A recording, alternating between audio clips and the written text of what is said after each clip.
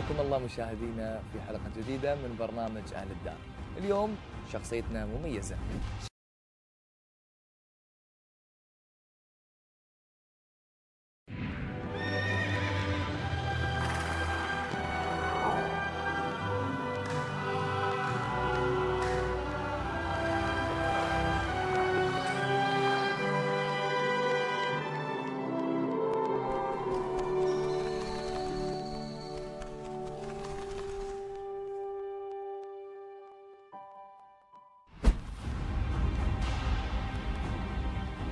الله مشاهدينا في حلقة جديدة من برنامج أهل الدار. اليوم شخصيتنا مميزة. شخصية برنامج أهل الدار شخصية تقلدت العديد من المناصب الحكومية والدولية وأيضا سافر في العديد من البلدان العربية والأجنبية وأيضا الأوروبية. ولد الفجيرة أكيد نرحب فيه في برنامجنا لهذا اليوم وأيضا بنتعرف على كثير من هالتفاصيل من سيرته الذاتية وحياته المهنية وأيضا حياته مع العائلة. خليكم وياي.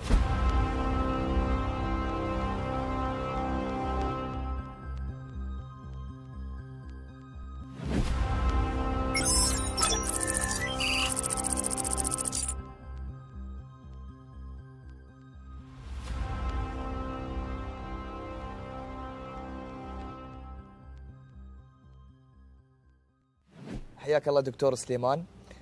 طبعا الدكتور سليمان جاسم باحث وأكاديمي وأنت غني عن التعريف في الساحة الإماراتية. شكرا. لك العديد من البصمات اللي وضعتها بتميز وبجداره آه، وأثبت ذلك من خلال مسيرتك آه، المهنية والعملية. نرحب فيك من جديد في شكراً آه،. هذه الفقرة. شكرا.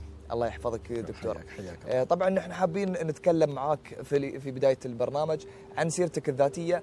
طبعا نحن كإعلام نعرف منو دكتور سليمان جاسم ولكن نبغي نوثق آه، هاي الإنجازات للمشاهدين ولل آه، اللي يشاهد التلفزيون عن إنجازاتك ونسأله سؤال كيف يعرف دكتور سليمان الجاسم عن نفسه؟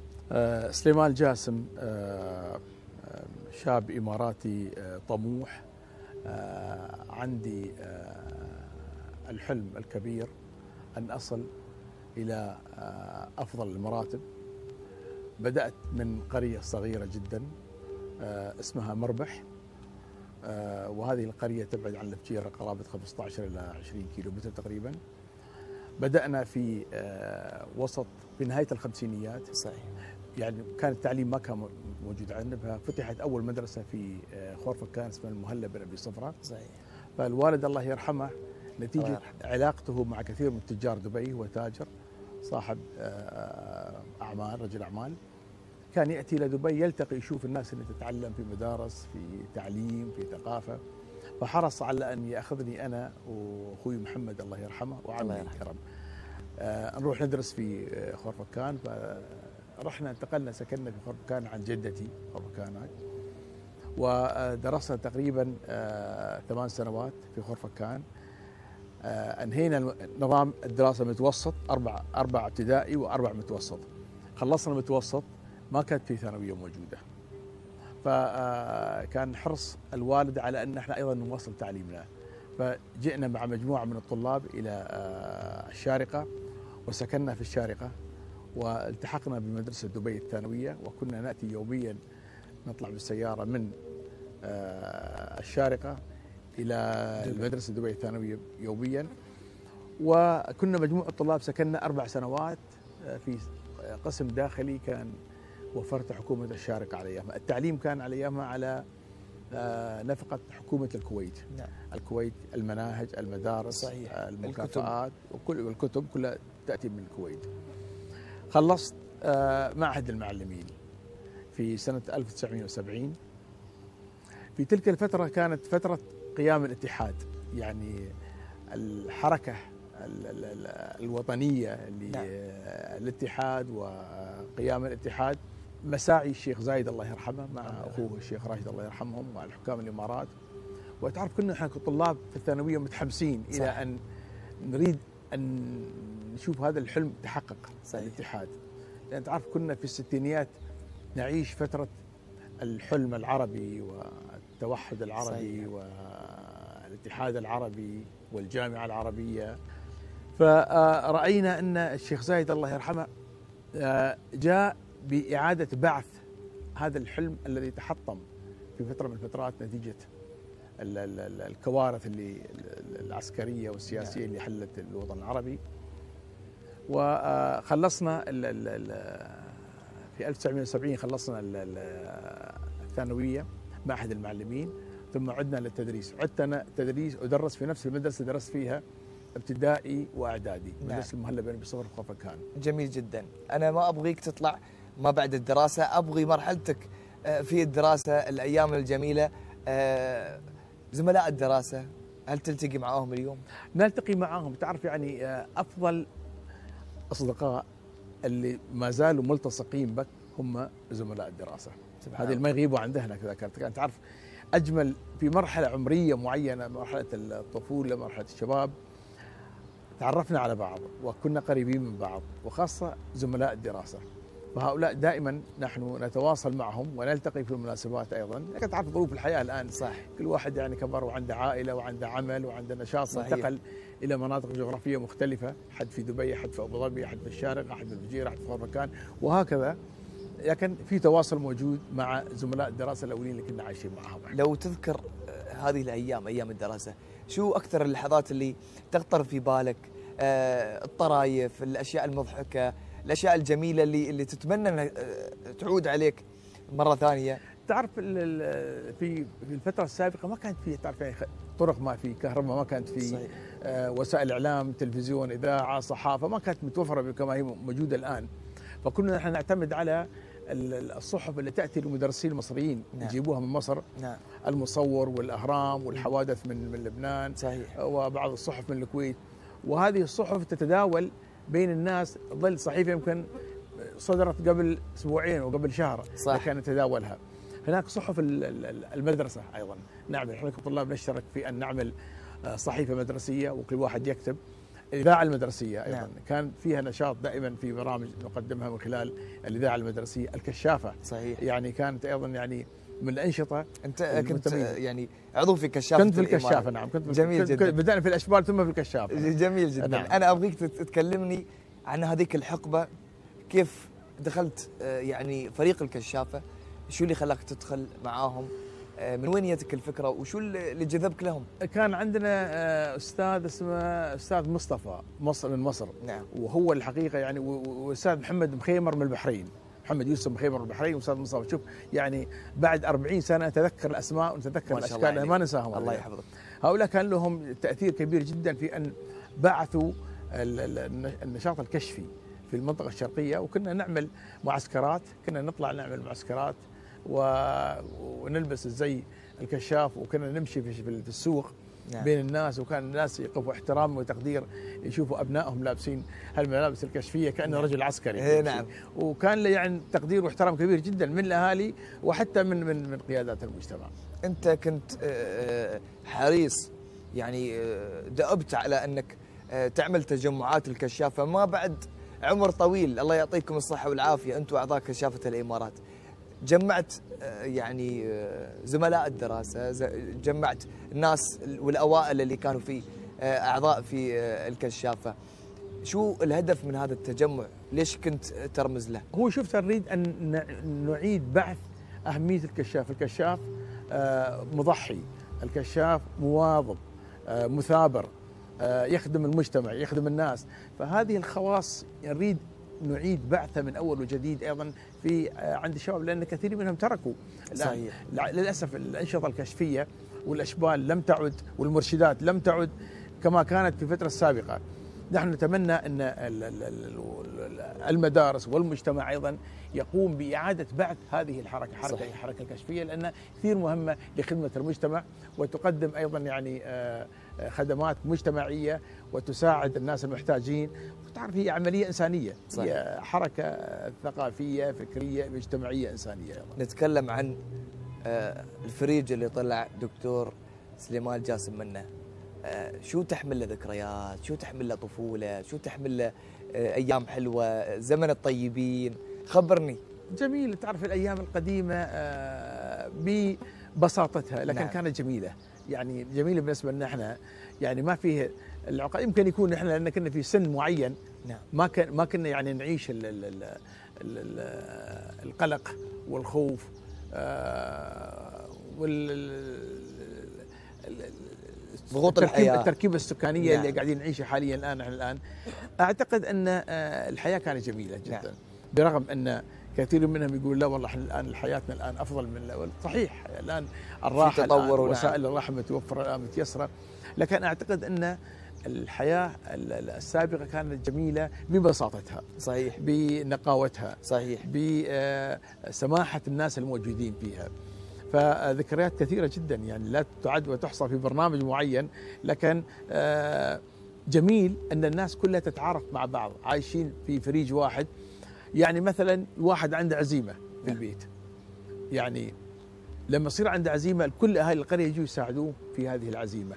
مثلا عنده. عرس أو عنده عرس مثلا يعني يعني هذا اللي يجيب ذبيحة هذا اللي يجيب العيش هذا اللي يقابل الناس في القهوة يعني الكل يساهم ويجتمع لخدمة آه، المعرس وأهالي ال- ال- المعرس أيضا بالمقابل إذا كان عندك عزاء نفس الشيء صحيح. أيضا يعني ما يعني ما كانت في خيام الناس كلها كانت تواظب وتساعد آه، وتساهم مع بعضها لدعم بعضها البعض قساوة الماضي وحلاوته آه، يعني هي اللي آه، ما زلنا أو ما زال جيل الطيبين آه، يفتقدونها. نعم. ولكن دكتور سليمان جاسم في آه، أكيد في بالك أنت يعني مثل موازنة موازنة للزمن الماضي وزمن زمننا الحاضر. أنت قبل شوية قلت لي إن في ناس يقول لك لا والله زمننا الحين الحمد لله إن نحن مرتاحين ونحن كذا. لأن كل شيء متيسر. ومتوفر صح. ولكن أنت لو قالوا لك رجع شيء من الزمن أو أو, أو ترجع للزمن زمن الطيبين علشان تاخذه. شو شو بترجع شو؟ شوف يعني إحنا ما أقول إني أنا أتمنى إني أرجع للزمن السابق. والزمن السابق جيد ببساطته نعم. بسهولته بان في تواصل موجود عندك. لكن ما كانت الحياة موجودة. صحيح. الخدمات الطبية كانت معدومة.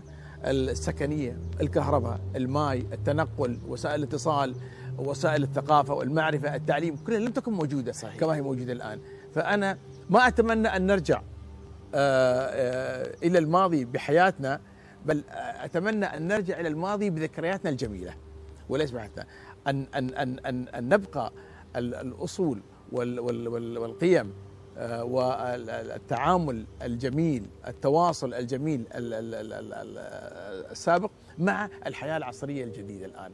إحنا لا نريد أن ننفصل عن ماضينا وفي نفس الوقت لا نريد أن ننسى أن قاعدين نعيش في نعيم ال- ال- الحياة العصرية والمتعة والخدمات الجيدة اللي توفرت لنا في هذه الفترة. أكيد جميل جدا دكتور سليمان.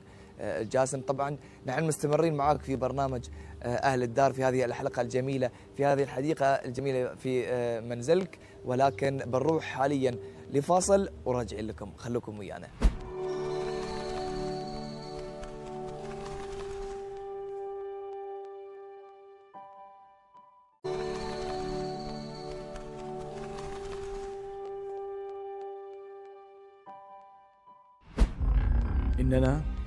نعيش أخطر مرحلة تمر بها أمتنا العربية في كل تاريخها.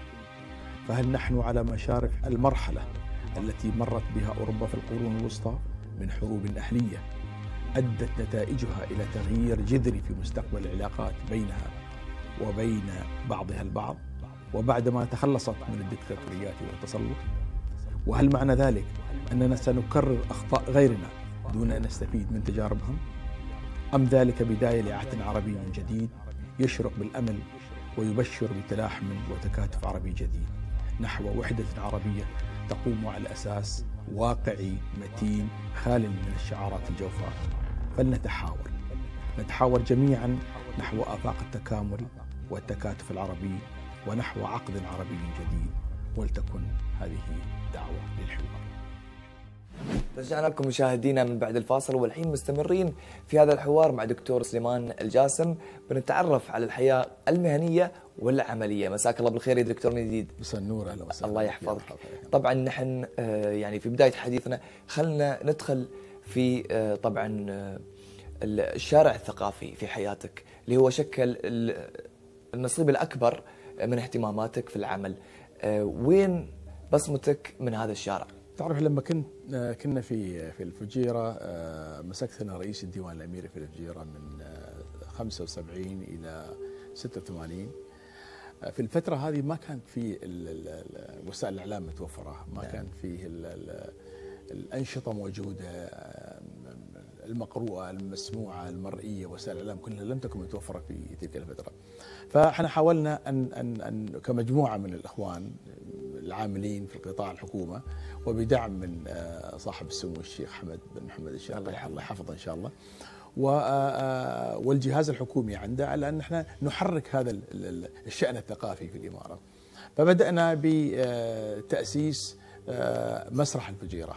نعم. استخدمنا كثير من الأعمال العالمية المسرحية العالمية. جو عرضوا عندنا في في في الفجيره وهنا خلقت أيضا بساط من الثقافة المسرحية في نعم. في في في الشارع. وأيضا بجانب ذلك عملنا الموسم الثقافي. كنا آه، موسم ثقافي سنوي. كنا كل سنة نستخدم آه، كثير من المحاضرين اللي ياتوا زوار إلى أبو ظبي. إلى وزارة الإعلام إلى ديوان الرئاسة إلى وزارة الخارجية ثم نستخدمهم أيضا. إحنا في في الفجيرة بالتنسيق معهم. وجاء الكثير من المتحدثين جاء آه، ياسر عرفات تكلم معنا معنا العتيبة أحمد خليفة السويدي آه، جاء أنيس منصور جاء كثير من الكتاب والمفكرين العرب جو إلى الفجيرة وتحدثوا في كافة المناطق الثقافية الفكرية الدينية السياسية الاقتصادية. نعم. وهذا خلق حراك ثقافي ثقافي أيضا. آه، نحن فخورين والحمد لله استمرت هذه الأنشطة الثقافية. آه، في فترة اللي كان كل شيء فيها معدوم. التواصل كان معدوم. ما كان في الإعلام يصل بشكل واضح التلفزيون ما كان يصلنا بشكل واضح. فمن هنا بدأت الأنشطة الثقافية تتحرك عندنا. وهذه يعني خلقت عندي أيضا يعني اهتمام كبير جدا في الجانب الثقافي. فلما نعم. رجعت رحت عملت الماجستير والدكتوراه بريطانيا رجعت. وعملت في كليات التقنية في مؤسسة تعليمية أيضا. نعم. وعملت آه، بعدها أيضا في جامعة الزايد كمدير لجامعه الزايد. وأعمل الآن نائب رئيس آه، سلطان العويسة الثقافية سلطان العويسة الثقافية ثم. عضو في آه، ندوة الثقافه والعلوم. فكافة هذه الأنشطة الثقافية أنا أحاول أن أوجد لنفسي فيها قدم وحضور. نعم. ولان هذه يعني تعرف جزء من اهتماماتي أنا الشان الثقافي وين تتجه أقلامك في الكتابة؟ أنا شو هو الجانب اللي يجذبك؟ هو شو أنا كتبت في الجانب المسرحي، كتبت نعم. في, بالتنسيق طبعا يعني أنا لم أعد لم يعني اصف نفسي أنا ككاتب مسرحي، أنا نعم. كانت لي محاوله للكتابة المسرحية محاولتين والحمد لله إلى حد ما المحاولتين آه، لم يفشلوا لأن قدمناهم في عملين مسرحية غلط في غلط ومسرحية سبعة صفر وواحدة منهم قدمناها في مهرجان قرطاج المسرحي في في في في تونس آه، وأنا أميل دائما للكتابة الاجتماعية نعم. آه، الثقافية الفكرية والشأن التعليمي آه، الشأن الاجتماعي أكثر ميلي لهذه الأمور من من من الشأن السياسي جميل جدا الاقتصادي. جميل جدا طبعا أنا لاحظت في مكتبك تجمعك صور مع شخصيات بارزة ودبلوماسية منها سيدي صاحب السمو الشيخ خليفة بن زايد نهيان رئيس الدولة الله يحفظه. وبعض من الشيوخ مثل الشيخ سيف بن زايد وأيضا الشيخ نهيان آه، مبارك بن نهيان. ولكن آه، لو نتكلم عن الصور هذه وين جمعتكم؟ وشو المناسبات اللي جمعتكم أنا في لي صورة مش عارف يعني شفتوها ولا حتى صورة لي مع الله يرحمه الشيخ زايد نعم. صورتين صورة مع الشيخ زايد لسنه 81 آه، نعم. في قصر المقام في في في العين كان عندنا مؤتمر تاسيس اتحاد التعاون العربي أسسناه في الفجيرة سنة 81 في مؤتمر كبير جدا عقدناه حضرت كل الدول العربية وتم آه، انتخاب آه، الأمين العام من العراق وأنا الأمين العام المساعد لاتحاد التعاون العربي وكويت كمان الامين العام المساعد. فذهبنا أن نسلم على الشيخ زايد في قصر المقام في في العين ونقدم له واستمع استمعنا لتوجيهاته الله يرحمه فيما يختص بالعمل التعاوني والثقافة التعاونية والنشاط التعاوني. يجب أن لا يقتصر فقط على في الشأن السلع الاستهلاكية يجب أن يتجه أيضا إلى الشأن الآخر الشأن الخدمي والمقاولات والصناعة والتجارة وخلافه. آه، صورة أيضا مع آه، الشيخ زايد الله يرحمه في آه، أيضا قصر الوثبة كنا نعم. مؤتمر وزراء التعليم آه، العالي العرب آه، في أبو ظبي لما كنت في كليه تقنيه ومن ثم أخذنا المجموعة مع معالي آه، الشيخ نهيان بن مبارك ال نهيان كان وزير التعليم العالي كان رئيس مجمع كلية التقنية العليا أخذنا في زيارة للشيخ زايد وتحدثنا مع الشيخ زايد هناك واستمعنا لتوجيهاته فيما يختص بالتعليم والشأن التعليمي. صورة أخرى لسيدي صاحب السمو الشيخ خليفة بن زايد. الله يطول عمره آه هذه في رمضان جاء زيارة إلى قصر آه الشيخ نهيان للسلام على المرحوم آه الشيخ مبارك بن محمد. وهذه صورة التقطناها معه. وأيضا صورة مع سيدي سمو الشيخ سيف بن زايد. الله يطول عمره في تكريم وزارة الداخلية للعاملين في مجال الوعي المجتمعي ومحاضرات وزارة الداخلية. وطبعا صور أخرى مع معالي الشيخ نهيان بن مبارك النهيان وزير التعليم البحث العلمي. هو رئيس كان جامعة زايد ورئيس التقنيه العليا هي مجموعة من الصور اللي تجمع أجمل ذكريات أنا دائما يعني أفتخر فيها وأحتفظ فيها وأهم فيها. وأهم أعتز فيها.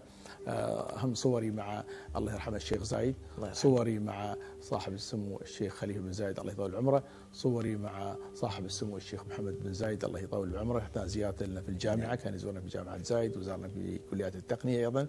وصوري مع صاحب السمو الشيخ محمد بن راشد المكتوم. اثناء فعاليات والانشطه اللي تحصل دائما في المجتمع كنا دائما نحظى برعايته واهتمامه أيضا. هذه مجمل لأهم الصور اللي دائما أحتفظ فيها بذاكرتي أيضا. جميل جدا، علشان يعني مثل ما نقول نختتم في الجانب الثقافي، أنت كيف تقيم الحراك الثقافي على الساحة العربية بشكل عام وعلى الساحة الإماراتية بشكل خاص؟ شوف هناك صار تحدي كبير جدا يعني خاصة في الفترة الأخيرة عندما طغت التكنولوجيا ووسائل التواصل الاجتماعي والإعلام الحديث سواء كان وسائل التلفزيون أو وسائل التكنولوجيا الحديثة الإعلام الحديث. نعم.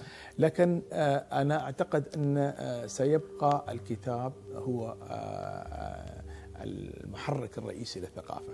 لأنك الكتاب تقدر تشيل معاك في كل مكان. صحيح. ما يبغي تيار كهربائي ولا يبغي شاحن فعلا.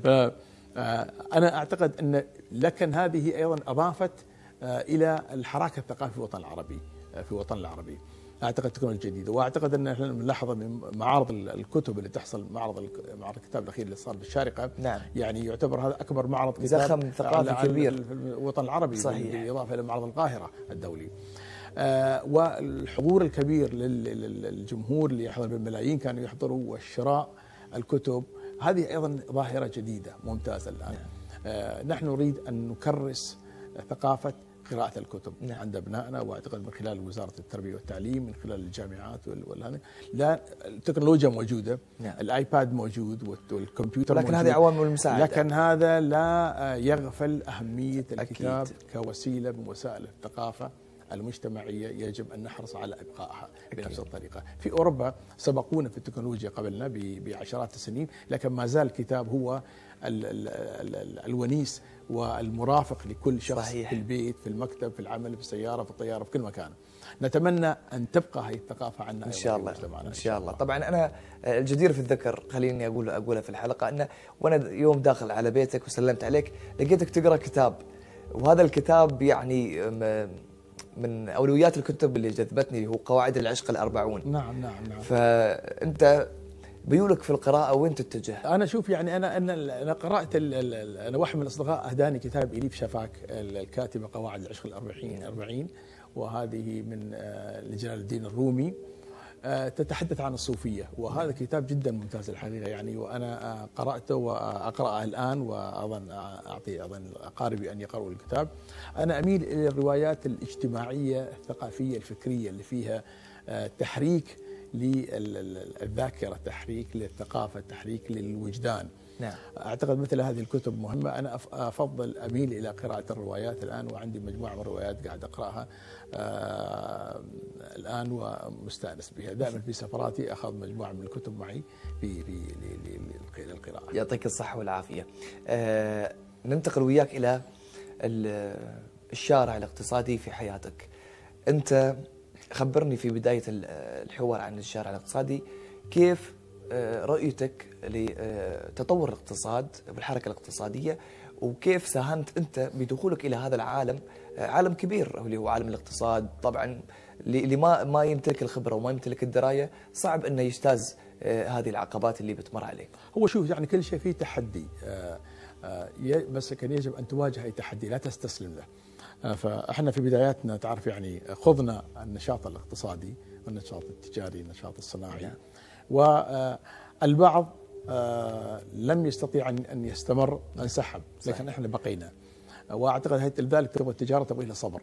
تبغى لها طو- طولة بال وتعرف يعني الوالد الله يرحمه كان يشتغل في في التجارة فأخذنا منه هذه الخاصية فبدأت في النشاط ال- ال- الصناعي آه، عندي الآن والنشاط التجاري التمويلي في في بنك الفجيرة مساهم أيضا معهم عضو مجلس اداره نعم. معهم شركة الفجيرة وطن التأمين وعندي أيضا مساهمات في قسم ال- ال- النشاط العقاري النشاط البحري آه، هذه مجمل من من من أنشطة آه، أعتقد يعني آه، تخدمك وفي نفس الوقت تخدم المجتمع التعليم الآن صحيح. يعني أيضا في قطاع التعليم نشاط آه، آه، خدمي اقتصادي أيضا صحيح. استثماري أيضا يعني استثمار في التعليم نتمنى أن نشوف كثير من أبنائنا وأخواننا أن يدخلوا لا يعني لا يعتمد فقط على الوظيفة الحكومية لأن كثير صحيح. منهم الحقيقة يعني آه، بنف- محدود يعني. ينأى بنفسه على أن يدخل في النشاط الاقتصادي والنشاط التجاري يقول لا بس أنا أريد أن أكون موظف في في ال- في الوزارة آخر الشهر أستلم راتب وأريح نفسي. لا الحياة ما هكذا. الحياة أن تجازف أن تعمل أن تجتهد أن تغامر. ستفشل مرة ستنجح مرات أكيد. آه، هذه طبعا حكم ويعني كلمات ذهبية منك. أنت دكتور عن خبرة طويلة آه، يعني جدير بالذكر ان نتكلم عنها في آه، هذا اللقاء ولكن أنت آه، شخص دائما تراهن على التعليم وعلى الكتاب وعلى الثقافة ولكن لو أعطوك آه، يعني أسهم تتحكم فيها شو بتسوي أنت يا دكتور سليمان؟ شوف يعني أنا يبقى التعليم عندي جانب جدا مهم يعني أنت إذا أردت أن تطور أمة أبدأ بالتعليم. أنا أعتقد أن الانكسار اللي حصل في وطننا العربي والهزائم اللي حصل في وطننا العربي والحروب والطائفية والراديك- والتطرف اللي حصل أعتقد نتيجة تعليم سيء. التعليم السيء سينتج ناس سيئين صحيح. الناس سيئين عطالة العطالة ستوف ستعمل لك فوران في الشارع وحراك مثل ما حصل وأعتقد أن لو عملنا صرفنا على تعليمنا في وطننا العربي أكثر ما نصرف على التسلح صحيح. أعتقد حالنا سيكون مختلف عما عليه الآن. نحن الآن آه، في فترة آه، فورة حضارية آه، نشاط حضاري فلذلك يجب أن لا نتخلف عن ركب التطور اللي قاعد يحصل في العالم صحيح وطننا العربي لن تقوم له قائمة بدون تعليم جيد صحيح. التعليم الجيد بحاجة إلى صرف أكثر والحمد لله في الإمارات عندنا الآن حكومتنا حكومة الشيخ محمد راشد الله يطول عمره ركز على هذا الجانب ووجهوا على موازنة وزارة التربية والتعليم وما يدور أكثر من 30% من من الميزانية. وهذا شيء شيء شيء, جيد. وأنت لاحظ الآن الحمد لله التقدم اللي حصل في الإمارات النهضة اللي حصلت الآن الثقافة الوعي اللي حصل في الإمارات أعتقد نتيجة تعليم جيد. والتعليم الجيد بدأ من سنة 67 65 لما حكم آه الله يرحمه الشيخ زايد أبو ظبي في نعم. 65 أول ما فكر في فتح مدارس. ركز على التعليم. قبل قيام الاتحاد صحيح. فتح مدارس في كل مكان حتى صحيح. في في الفجيره في في في راس الخيمة في كلبة في كل مكان فتح من من وصرف مكافآت للدارسين من الطلاب وأولياء الأمور وهذا اللي شجع. خلق قاعدة من المتعلمين وهذه القاعدة هي كانت الأساس السليم لقيام الاتحاد خلق قناعات بين الناس وأعتقد أن التعليم الجيد آه، خلق هذه الفورة الوطنية التكنولوجية آه، الناهضة في الإمارات نتيجة أعتقد تعليم جيد، فإحنا وطننا العربي لو ياخذ تجربة الإمارات في هذا الجانب وفكر الشيخ زايد في هذا الجانب الاهتمام ببناء الإنسان قبل بناء البنيان. فهذا الجانب جدا مهم. يا سلام فعلا أنت يعني أعطيتني كلام آه، عن شخصية المغفور له باذن الله الشيخ زايد الله يرحمه. آه، كلام وعبر وحكم آه، يعني أبهر أبهرتني يعني لما سمعتها أول مرة في حياتي والآن أنت تكررها علي نعم. هاي الرؤية والاستراتيجية اللي ما شاء الله يعني آه، قيادتنا الرشيدة منذ تأسيس الدولة الإماراتية إلى اليوم قاعدين نشوف هذا النهج السليم اللي يمشون عليه آه، ونمشي عليه نحن آه، نتمنى أن نشوف آه، يعني كل أمنياتك متحققة بإذن الله دكتور سليمان جاسم ومستمرين معاك في حوارنا آه، في برنامج أهل الدار. ولكن بننتقل لفقرتك وين؟ في بيتك عند العائلة. أهلا, أهلا وسهلا بكم ولكن بعد هذا الفاصل.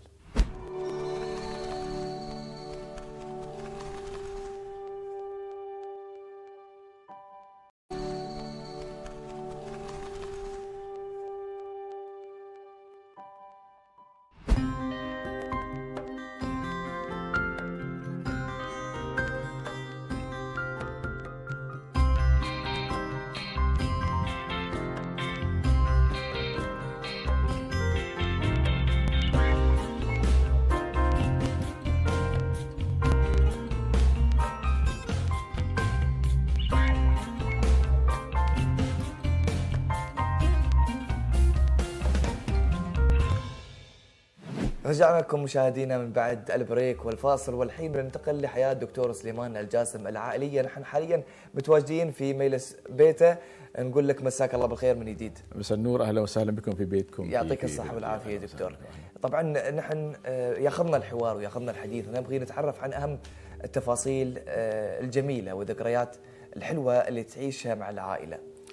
تعرف آه، جرت العادة باعتبار بحكم عملي كنت أنا في السابق اشتغلت 23 سنة في آه، آه، خارج المدينة. كنت في 16 سنة في كليات التقنية العليا في أبو ظبي ودبي ومتنقل بالامارات الأخرى. وسبع سنوات كنت في بين دبي وأبو ظبي في جامعة زايد. فهذه خلتني يعني أبتعد نسبيا. لكن حاولت أنا أنا أن أوجد رابط وتعويض عن هذا الابتعاد إني أنا أخلق يوم جمعة هو يوم عائلي. نجتمع فيه مع الأهل مع الأصدقاء مع الأبناء مع الأحفاد وهذه فرصة أيضا نتزاور فيها نزور الأرحام ونلتقي مع أكيد. أقرب الناس. وهذه يعني عادة جدا ممتازة نحاول أن نورثها أيضا للأبناء إن شاء الله. والله هي عادة جميلة دكتور سليمان. ولكن في هناك أكيد مواقف طريفة آه، مرت عليك أنت آه، مع أولادك طبعا ومع آه، ولدك فيصل. يعني أكيد في بعض الطرايف بعض اللمحات الجميلة اللي تتذكرها. يا ريت لو تخبرنا عنها يا دكتور هو آه آه ترى فيصل موجود ورانا آه، فيصل موجود هو أعتقد يعني في في تعرف يعني في أثناء فترة الشباب وفترة الطفولة وهذه نعم. كثير من من من من من المواقف إحنا كنا مرة في في في المزرعة في نعم. في دبا وعندنا حمام سباحة كبير ففيصل توه يتعلم سباحة فطب في الحوض هو فظاهر كأنه غرق هو في الحوض أخته شافته قاعدة تصفق تعتقد إنه هو يعني بطل. قاعد يسبح بطل هذا. والولد غرقان ونحن نركض نطب عليه. بس كلام. ومنها فيصل الحين يخاف يدش في أي حمام سباحة. عنده فوبيا من من من السباحة. أنا بعطيك كورس ما عليك. بعطيك كورس. آه، في أشياء كثيرة دكتور آه، نحب نتكلم معك فيها. توجهك أنت وسياسة تربيتك. دكتور سليمان جاسم أكيد تتمنى أن عيالك يحذوا حذوك في في مجالهم للعلم في مجالهم للرقي الفكري وال وال ويعني والتفكير بشكل عام. ولكن شو هي أهم الإرشادات والنصائح اللي دائما تحب تزرعها في ذهن أبنائك؟ شو أهم يعني خلينا نقول اللمحات الذهبية اللي تحب هو شوف يعني عند الإنسان ما في أهم من أن يعني ما يتمنى أحد يكون أحسن منه غير أبنائه. نعم. يعني أنا يعني طبيعة الإنسان البشرية ما يتمنى حد ثاني يكون أحسن منه إلا فقط الإبن والأولاد. فلذلك يعني يأتي حرص الوالدين على أن يكون الأبناء يأخذون وضعهم ويتعلموا من التجارب والمعاناة والحياة والنظام والعمل اللي إحنا آه، مارسناه إلى أن كونا أنفسنا. وأعتقد الحمد لله يعني آه، موفق أنا بأولادي وبناتي الحمد لله يعني. وعيال أخوي عيال عمي أيضا كلهم الحمد لله أفراد الأسرة كلهم يعني الحمد لله. وخلال هذه اللقاءات دائما نلتقي تعرف يعني آه، نتحدث في أمور عامة أمور عائلية أمور العمل أمور الحياة الأسرية كل القضايا هذه. أعتقد يعني هذه جيد إن الواحد من خلال خبرته آه، يعطي آه، ما يملك كإرشاد وكتوجيه أيضا إلى الجيل حتى يتحمل المسؤولية في المستقبل. والإنسان تبي يتعلم أيضا يعني. وأنا أعتقد إنك دائما أكلم الأولاد أقول لهم يعني تعلموا دائما من أخطائكم. الإنسان يخطأ دائما. فيجب أن لا يحاسب الإنسان عندما يخطأ في في عمله في حياته الأسرية في حياته الخاصة في علاقاته مع الأفراد. لكن هذه تخليه يكسب خبرة في هذا الجانب ويتعلم منها وما يكررها مرة أخرى أيضا. في نهج يتبعوه دائما الآباء في توجيه أبنائهم آه، وإطلاقهم لل يعني خلينا نقول لتحديات الحياة والعولمة إلى آخره ولكن في سن معين. ولكن شو النهج اللي يتبعه دكتور سليمان جاسم مع أبنائه؟ بتعرف يعني ال ال الابن آه، في تعامل آه، في تعامل يجب أن يكون صاحب مسؤولية، عندما يصل إلى سن معين سن 17 و 18 مرحلة النضج الآن الشاب يكون شخصيته. فأعتقد يعني خلال دراستهم الجامعة آه، فيصل وسعود آه، سافروا إلى أمريكا ودرسوا في أمريكا واعتمدوا على انفسهم هناك في أمريكا. رجعوا كونوا نفسهم مسكوا أعمال آه، في في قطاع الحكومة والقطاع الخاص والآن ماسكين فيصل ماسك الأعمال الخاصة بالاسره عطى الثقة فيهم عطى الثقة دائما في في الأبناء خلهم يعني على قدر من المسؤولية مواجهة أي عقبات تحدي كيف يعرف يتصرف يتخلص منها. يعني لا تحله المشاكل هاي كلها لأن مشكلتنا إحنا كلنا دائما يعني أبويين طبيعة العربي والشرقي أبويين دائما نهتم بالابن إحنا نسوي كل شيء إحنا نحجز له في الطيران نحجز له في تذاكر السفر إحنا نحجز له الفندق إحنا نرتب له إحنا نشتري ملابسه. فهنا لا خل الأمور مختلفة كليا خل الابن نفسه يعتمد على نفسه. فأعتقد يعني هذه الحمد لله آه الله آه وفقنا في في في, في تربية الأبناء والحمد لله يعني يعني أنا جدا مرتاح وراضي عليهم. طبعا دكتور سليمان آه، نحن شاكرين لك آه، يعني آه، تقديمك لنا استضافة إن في مجلس بيتك وهذا الشرف لنا يا طويل العمر. نتغدى عندك ووسط أسرتك ووسط هالأجواء الحلوة الأجواء الشتوية خلينا نقول. فعلا جمعة حلوة والله يديمها عليكم. شكرا. هي جرت العادة إن إحنا يعني نعمل هذا التجمع دائما في كل جمعة ومن خلال هذا التجمع يعني شوف أطياف مختلفة من المجتمع رجال دين رجال اقتصاد والطلاب ومدراء وصناع ومسؤولين وأقرباء وأصدقاء يتجمعوا. في أثناء جلسة الجمعة تطرح كثير من المواضيع ويصير نقاش فيها. وهي فرصة أيضا يعني للأبناء أن يستمعوا أو يشاركوا أو تكون لهم مداخلات أيضا يعني. وهذه نوع من التثقيف المجتمعي يكون. أنت يعني المجلس لا تخلي فقط مجلس للاكل والالتقاء هو مجلس للعلم والثقافة وأيضا طرح المعلومات الجيدة. آه، في آه، طبعا ناس أثروا عليك أنت في عائلتك أن لهم الفضل أنهم يساندوك في هالمسيرة الطويلة، لهم الفضل أنهم يوقفون معاك ما يكسرون المجاديف. يعني إذا صح التعبير. يا ترى من هذه الشخصيات؟ آه، أعتقد الوالد والوالدة. نعم. آه، لأن إحنا كنا تعرف في مثل ما قلت لك أنا في في الجلسة السابقة إن إحنا من قرية صغيرة من مربح وهذه القرية كانت يعني آه، ما فيها مدارس ما فيها شيء. الوالد والوالدة ضحوا بأبنائهم. يعني كنا في عمر خمس سنوات وست سنوات. رحنا انتقلنا إلى خورفكان سكننا عن جدتنا. يعني كيف الأب يتخلى والأم تتخلى عن ابنها يروح يدرس هناك ومن ثم ثمان سنوات ثم يسافر يتعلم في الخارج. هذه كلها آه، آه، آه، يعني أيضا تضحيات قاموا فيها الوالد. فالوالد الله يرحمه تعرف كان له فضل كبير جدا في رعايتنا وتوجيهنا وكذلك الوالده في تربيتها الحمد لله. شو الكلمة اللي تحب تقولها أمام الكاميرا لأم عيالك من خلال حلقة أهل الدار؟ أعتقد يعني تربية الأبناء آه، والاخذ آه، آه، بيدهم والسماع لهم أيضا وتعاملهم معاملة أيضا أكثر راقية. هذه جانب جدا مهم في التربية الأسرية والتعامل مع الأبن والبنت تعامل راقي. الآن إحنا وصلنا إلى مرحلة حضارية متقدمة. لا نتعامل بنفس ما كان آبائنا وأجدادنا يتعاملوا معنا. في ظروف كانت مختلفة الحياة كانت مختلفة ثقافة مختلفة. فالآن أعتقد الظروف تغيرت الآن وأتمنى أن من كل الأسر أن يتعاملوا معاملة جيدة وراقية مع أبنائهم حتى نخرج بمجتمع سليم صحي معافى.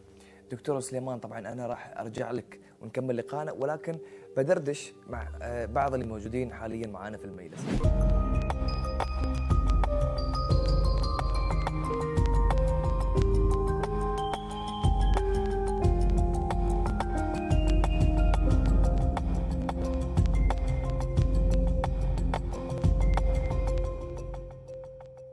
فيصل يعطيك العافية. الله يعافيك. شو أخبارك شو علومك؟ أنت أكبر واحد طبعا. نعم آه شو الأشياء اللي استفدتها من أبوك و... و... ودائما تأخذها بعين الاعتبار في حياتك؟ طبعا آه، حب الناس حب الخير للناس و... والاجتهاد في العمل وإتقان العمل طبعا يعني. أنت شو مجال عملك؟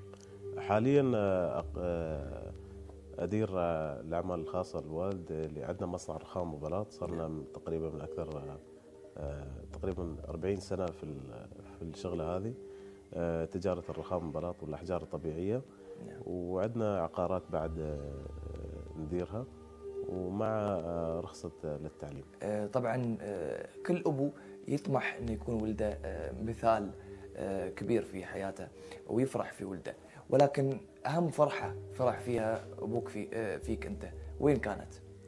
آه، طبعا تخرج من الجامعة وكثير من محطات الحمد يعني ويمكن ولادة ولدي سليمان يمكن سميته على اسم أبوك. هي طبعا. سليمان. اي نعم. آه، شيء جدا جميل. آه، شو اللي تحب تشوفه في آه، ولدك مستقبلا؟ إنه يكون ابن صالح آه، طبعا ينفع بلاده وينفع أهله وجماعته ويكون آه، مكسب للدولة طبعا. أكيد. فيصل أنا مستأنس معاك. شكرا. يعطيك الصحة الله والعافيه يعافيك بكمل لقائي مع أبوك. إن شاء الله. طبعا أنا استأنست آه، مع لقائي مع ولدك فيصل. آه، دردشت معاه عن يعني آه، الجانب الاقتصادي لإمارة الفجيرة آه، ومجال عمله. ولكن حاليا آه، رجعنا لك في تكملتنا للمقابلة. ولكن في سؤال يخطر في ذهني بما أنك أنت من يعني محبين قراءة الكتب بشغف كبير بمختلف المجالات والتخصصات. شخصية مثقفة آه، مثلك يا دكتور سليمان آه، غنية عن التعريف. ولكن في سؤال خاطر في بالي إنه وين يكون الضغط على متخذ القرار أو صانع القرار؟ هو شوف اتخاذ القرار جدا مهم. آه لا تستطيع أن تتخذ قرار في ظروف صحية سيئة. ظروف نفسية سيئة مستعجل آه آه مطلوب منك أن قرار في فترة آه، قياسية منفعل غضبان. هالقضايا هذه كلها تؤثر سلبا على نتيجة القرار التي تتخذه فأنت الآن يجب أن تتروى وتنتظر إلى أن تدرس ال- ال- ال- ال- الموضوع من جميع جوانبه تستشير في أكثر من جهة خذ أكثر من رأي فيه وخذ وقتك في اتخاذ القرار لأن القرار قد قد لا يكون في مصلحة مصلحتك إذا كان أنت في وضعك وضع نفسي غضبان ولا زعلان ولا متشنج ولا آه، منفعل فلذلك تنتظر انتظار انتظر حتى تأخذ وقتك الكافي لاتخاذ القرار الصحيح في الوقت الصحيح للمكان الصحيح. دكتور سليمان الجاسم آه، كلمة شكر تحب توجهها من خلال برنامج أهل الدار للناس اللي وقفوا معاك ساندوك آه، لهم اللمحات الجميلة آه، في مسيرتك ومسيرة حياتك المهنية والعائلية على كل الأصعدة آه، أعتقد في ثلاث شخصيات عندي الآن أو أقول إن أربع شخصيات أثروا في حياتي العملية. طبعا حياة الأسرة الأسرية الوالد الوالدين طبعا يعني لكن في حياة العمل أعتقد من خلال أول محطة اللي كانت مع معالي أحمد خليفة السويدي وزير الخارجية لما اشتغلت في الخارجية في فبراير 72 آه، في السلك الدبلوماسي فكان أحمد خليفة السويدي كان يتعامل معنا تعامل جدا ممتاز وأبوي وراقي فأحمد خليفة السويدي هو أحد أعمدة اللي ساهموا بجانب الله يرحمه الشيخ زايد في تأسيس آه، آه، وتكوين الاتحاد. الشخصية الثانية آه، صاحب السمو الشيخ حمد محمد الشرقي عضو مستشار الحاكم الفجيرة آه، الله يحفظه. اشتغلت مع رئيس الديوان 11 سنة رئيس الديوان الأميري. فهذا الشخص ال- ال- ال- ال- ال- العاقل الدبلوماسي الحكيم في تعامله لمعالجة الكثير من القضايا وتعلمت منه أشياء الكثيرة في تواضعه في محبته للناس في طيبة قلبه في سعة أفقه في مفهوميته يعرف لما تكلم في قضية معينة تلقاه هو فاهم وعارف وقارئ الموضوع أكثر منك. فهذا الشخص الحقيقة له فضل كبير جدا في أيضا في في في حياتي العملية. المحطة الثالثة هي آه، معالي الشيخ نهيان مبارك ال نهيان آه، وزير التعليم مع البحث العلمي. هذا ال- الإنسان ال- المثقف الأبوي الرحوم بوالديه الحقيقة الرحوم بالناس مواصل الناس في عزائهم في أفراحهم في علاجهم في مستشفياتهم. وهذا الرجل الحقيقة يعني ترك بصمة كبيرة جدا حتى في علاقتنا في حياتنا الخاصة وأعتقد. والشخص الشامل لهذه كلها آه الله يرحمه ويغفر له الشيخ زايد بن سلطان الاهيال فصارت لي فرصة أنا أن أكون مع الشيخ زايد في سفرات في خمس سفرات آه وكنا نحضر مجلسه وكنا نلتقي معه دائما نجلس معاه نستمع اليه يسألنا يهتم فينا يتعامل معنا كناحية أبوية رحوم آه بكل من حوله. فهذه الشخصيات الأربعة أثروا أيضا في تكوين شخصيتي وتوجيهي التوجيه أعتقد اللي أنا مرتاح منه الحمد لله. يعطيك الصحة والعافية دكتور سليمان. آه، سعدنا في آه، لقاءاتنا في آه، برنامج أهل الدار. طبعا إن شاء الله ما تكون نهاية لقاءاتنا، لقاءاتنا أكيد متجددة يا دكتور وما نستغني عنك. ودائما نحن سعيدين ويشرفنا ان نستضيفك مرات أخرى إن شاء الله. شكرا جزيلا. الله يحفظك يا دكتور. أهلا وسهلا. طبعا تعرفنا عن حياة الدكتور سليمان الجاسم الباحث والأكاديمي عن سيرته الذاتية وحياته المهنية وحياته العائلية شخصية مثقفة جدا محبة للكتب وأيضا يعتبر قائد من الرموز الإماراتية ووضع البصمات العديدة على هذه الساحة. تريوني مشاهدينا في سيرة ذاتية جديدة ومع حياة جديدة ومع قصة جديدة. وفي أمان الله.